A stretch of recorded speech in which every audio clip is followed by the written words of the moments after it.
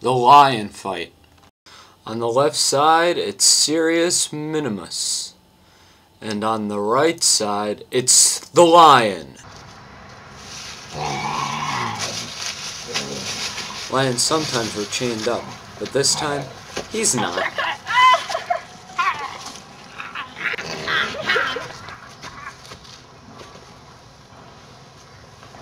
This lion and many others were from Mesopotamia. You know gladiators wouldn't have togas, right?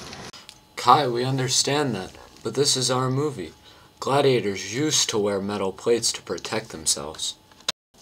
The lion fights and any other animal battles occurred in the morning. The other gladiator fights occur, uh, occurred in the evening. Do you want Serious Minimus to live or die? You choose.